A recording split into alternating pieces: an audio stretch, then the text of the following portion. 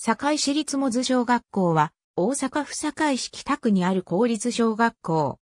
明治時代に設置された中モズ尋常小学校、西モズ尋常小学校の2校を起源とする。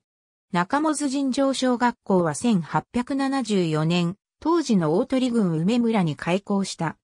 1885年には中モズ尋常小学校から分離する形で、当時の大鳥郡高田村の西モズ尋常小学校が開校している。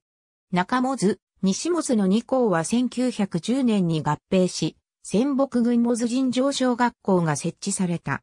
開校当初は、当時のモズ村赤旗に校舎を設置したが、1938年6月に現在地に移転した。モズ村は1938年9月1日に堺市に編入し、堺市モズ尋常小学校と称した。1941年には国民学校令施行により、堺下津国民学校に改称した。太平洋戦争の影響で、1945年、春以降堺市中心部の国民学校児童も学童疎開の対象となり、1945年6月20日より、堺市少林寺国民学校の集団疎開を受け入れた。